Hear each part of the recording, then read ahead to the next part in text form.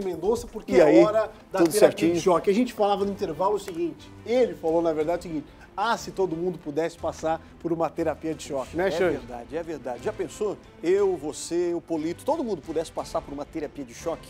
Agora, por exemplo, você vai poder estar aí num lugar totalmente preparado para te receber, né? Com vários tipos de terapia, para você refletir aí sobre o que está acontecendo hoje na sua vida, os seus problemas e como você pode também, claro, se preparar para o futuro. Aliás, a Tiele, a nossa participante de terapia de choque, até nem gostava muito de comemorar o próprio aniversário dela, imagina.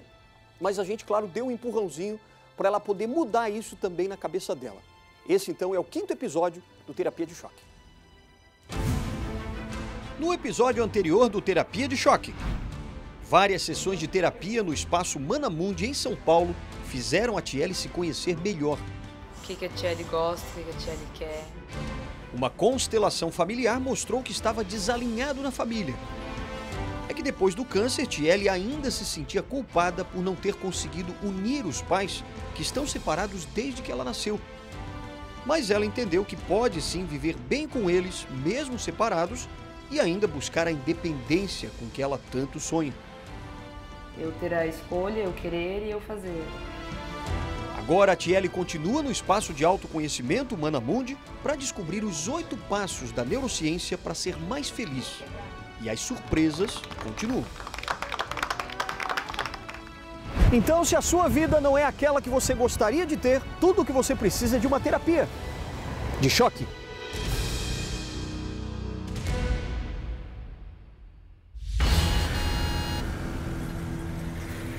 Você já parou para imaginar o seu próprio futuro? Imaginar é construir a partir de um sonho. Imaginar é não ter limites. O seu combustível do sucesso é a sua imaginação. Aproveite, use e abuse dela, porque ela vai fazer você reconstruir uma realidade e fazer a sua realidade do tamanho que você merece.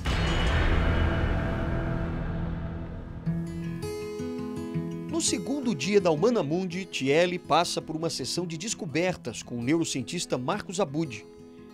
Ele mostra os oito passos para se ter uma vida mais leve e feliz, cuidando de alguns elementos básicos da vida. A alimentação equilibrada, uma boa noite de sono, atividades físicas com frequência, tendo também contato com a natureza, sabendo crescer com as dificuldades, a chamada resiliência fazendo conexões afetivas de qualidade com pessoas que se importam com você, tendo ainda momentos de meditação, valorizando o momento presente, que a neurociência chama de mindfulness. Então eu sugeri para ela esse aplicativo que chama WeMind, né? que é na verdade para nós meditarmos, WeMind, que é um aplicativo que tem essa meditação feito por mim e por outros médicos da USP para ajudar a praticar no dia a dia. Praticando 8 semanas, 15 a 20 minutos, você tem uma melhora de concentração e de humor comparável a você tomar um antidepressivo. E o oitavo passo para a felicidade é descobrir o seu propósito de vida aquilo que a gente gosta, que a gente consegue fazer, mas que tem um impacto maior do que a gente. Né?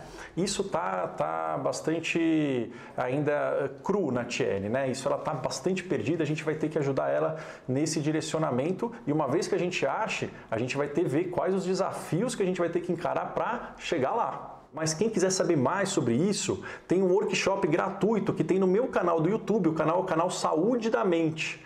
E o workshop é o workshop da saúde total da mente. Ele tá lá no canal, é só acessar Saúde da Mente no YouTube e você vai ter ali o link para o workshop, que é o workshop da saúde total da mente, onde você vai aprender quais são esses oito pilares e como que você pode colocar isso na sua vida a partir de hoje. No meio do dia, uma parada para um almoço especial para Tiele. E depois, mais uma reflexão. O que, que eu significo para outras pessoas? Tiele representa para mim um gole diário de felicidade. Ah.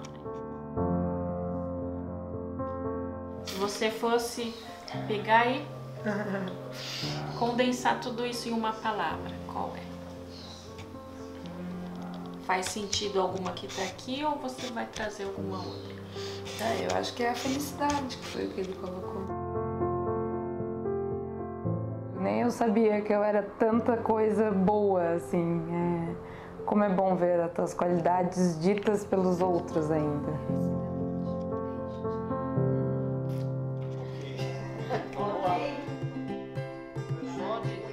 E numa dessas sessões, até eu participei.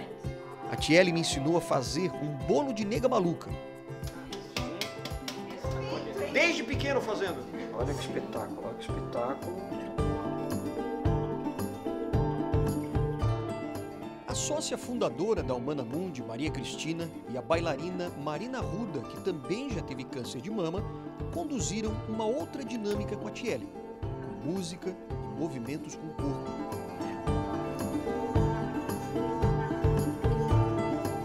Tiele ainda passou por uma massagem relaxante com a massoterapeuta Aline Gomes. Aliás, foi a primeira massagem que ela recebeu na vida. E depois de muitas terapias, a equipe da Humana Mundi organizou uma festa de renascimento para Tiele, já que ela não gostava mais de comemorar o aniversário. Mas agora, ela estava pronta para celebrar a vida e com um bolo que nós mesmos preparamos.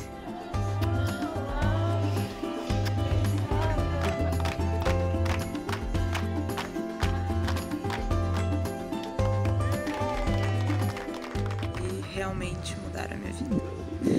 Eu sou uma nova mulher e meu novo aniversário. Né? E esse trabalho de construção da vida da Tiele só está começando. No próximo episódio, a supera ginástica para o cérebro vai dar um choque no raciocínio da Tiele. E ainda o encontro com a consultora de imagem Carolina Bastos. Como ela pode se expressar, conectando o interno com o externo. Não perca no próximo Terapia de Choque.